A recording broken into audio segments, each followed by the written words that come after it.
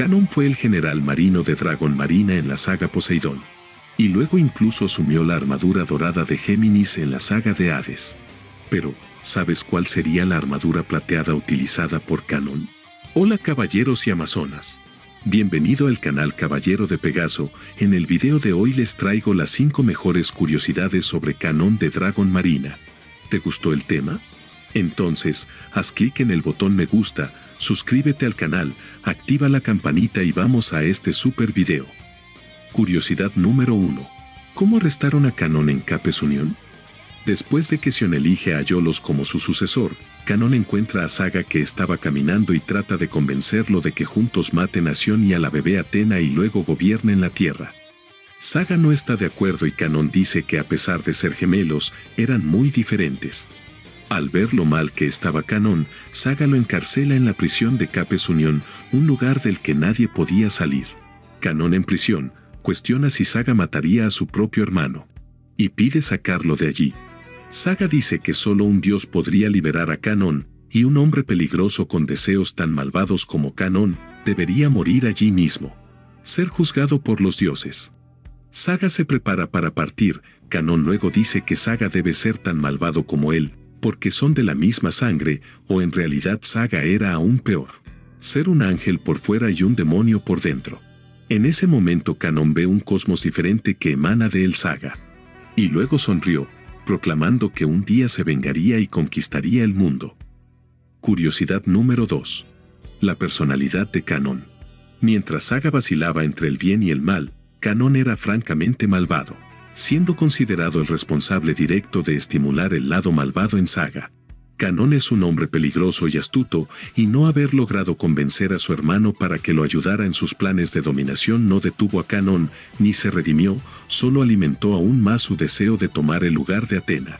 Al descubrir el camino que conducía al reino de Poseidón, Canon ve allí una oportunidad para perseguir sus ambiciones. Y en su papel de aliado de Poseidón, pudo engañar al dios de los mares, así como a todos los generales marinas, arrastrando a todos a una lucha contra Atena y sus caballeros. Su intención era que los dos bandos se destruyeran mutuamente en el proceso, lo que allanaría su camino hacia el poder. Este razonamiento y sangre fría para ejecutar su plan, convierte a Canón en uno de los conspiradores más astutos jamás vistos, tanto en estrategia como en pura ambición y odio. Curiosidad número 3.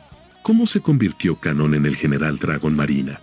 Un día, mientras forzaba las rocas de la prisión en el Cabo Unión en busca de una salida, Canon nota un brillo extraño que proviene de la pared. Con facilidad, Canon atraviesa el muro de piedra y encuentra el tridente de Poseidón, que Atena atrapó allí en los siglos pasados. Canon intenta tomar el tridente y usar su poder para su propio beneficio. Cuando logra sacar la lanza, el suelo bajo sus pies se lo traga, llevándolo más allá del fondo del mar. Canón despierta en la fortaleza submarina del dios Poseidón. Y caminando por el lugar, llega a una habitación donde están todas las balanzas de Poseidón, así como el ánfora de Atena, donde se sella el alma de Poseidón. Canón toma el ánfora, rompe el sello y libera el alma de Poseidón.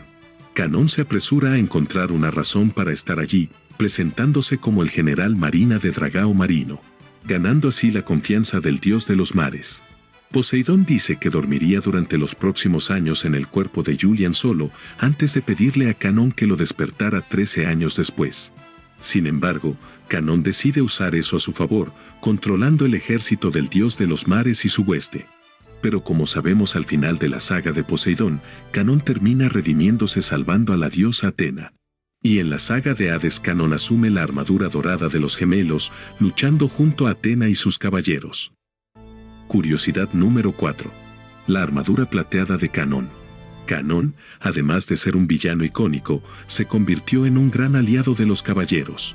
Sin embargo, el guerrero nunca tuvo su propia armadura, y la armadura dorada de Géminis, que usó para luchar en la saga de Hades, en realidad estaba destinada a la saga de su hermano. Por lo tanto, surge la duda de que armadura podría asumir Canon, siendo esta una armadura fuera del rango dorado, ya que la armadura de su signo estaría siendo utilizada por su hermano.